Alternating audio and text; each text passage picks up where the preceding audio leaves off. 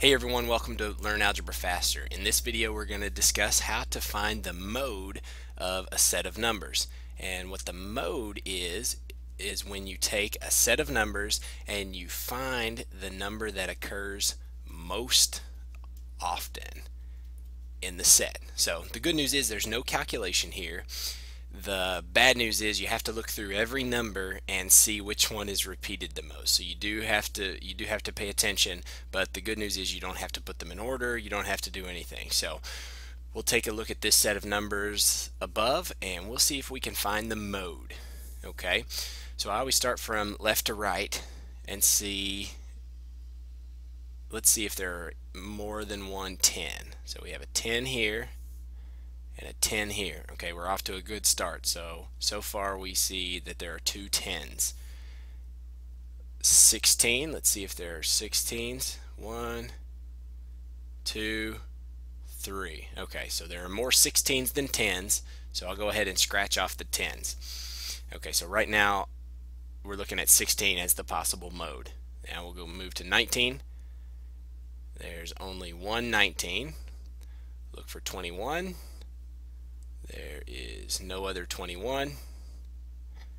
We look for 13s. There's no 13. There are no 25s, 29s, 12, 18. Okay, so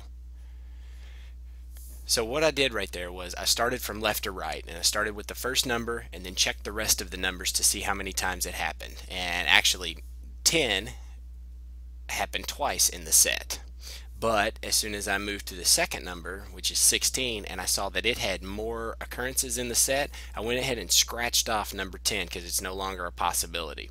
And then we just continue going left to right through the set, and if if the numbers don't have any repeats, then we know our mode is set. So we know that our mode is 16. Okay, let's go ahead and do another practice problem quickly.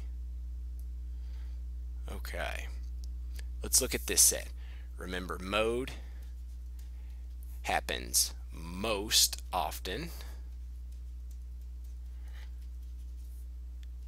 And we start with the first one. Let's see if 57 is repeated.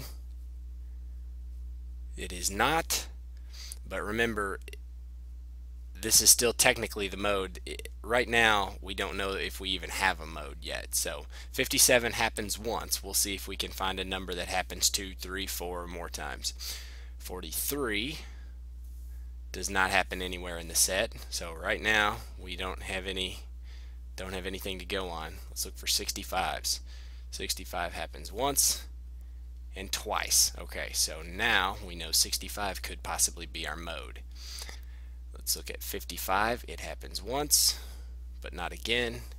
39 happens once, but not again. 50 is the same. 64 is the same.